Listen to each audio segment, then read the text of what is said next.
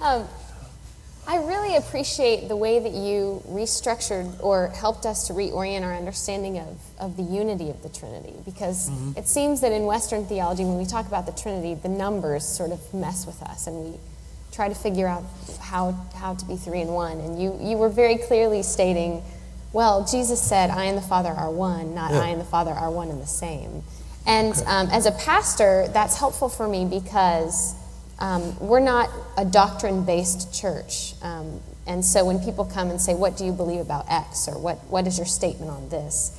we often say, Well, there are a lot of different beliefs in our church. Um, and then they say, Well, what holds you together? And we say, Well, this, this unity comes not through our doctrine, but through the fact that we feel that Christ provides us a unity that is far above that, right? Mm-hmm. Um, so, can you talk a little bit more about that? Because I think for us, many of us in the room who are pastors, who have congregations who disagree on a number of different doctrines, this gift of the unity of the Trinity that doesn't have to be sameness is a really important um, thing for us. Mm-hmm. Mm-hmm. Well, uh, let me first say um, Jesus addressed his God as Abba, der Father. Uh, the Apostle Paul, Paul heard the Abba prayer in Galatian and in Rome. But after the first century, the Abba prayer disappeared from the Christian congregations and was replaced by Our Father who is in heaven, with a far distance. Uh, and uh, with the possible misunderstanding of patriarchalism there's a father in heaven and a father in the family, etc., the father of the fatherland, etc. If we would reintroduce into our congregations and our personal life the Abba prayer, we would feel the nearness of Jesus at the moment.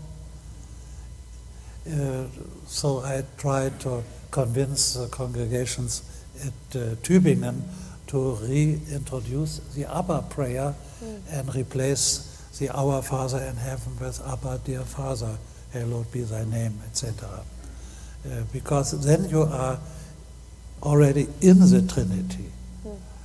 while uh, Father of the Fatherland and the Father of uh, the universe, etc. Uh, this is uh, another concept of fatherhood. Uh, and uh, what keeps us together? Well, uh, the Trinitarian persons in their mutual indwelling, in their perichoresis, are not only three persons, but also three rooms. They give room for indwelling of the other persons in them. So uh, God the Father gives room to Jesus to dwell in him and he dwells in Jesus. Uh, to give room to each other means uh, what we are doing in if we accept other people, open our life and our houses in love and friendship to them, we give them a life space in which they can breathe freely and reveal themselves, go out of themselves, etc. If we give no living space to other people, uh, to exclude them or uh, shut them out or become aggressive, the other people will retire into themselves and become defensive. We all do this.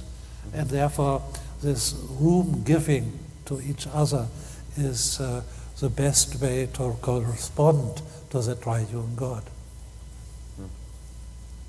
And perhaps this is what you are doing in your church.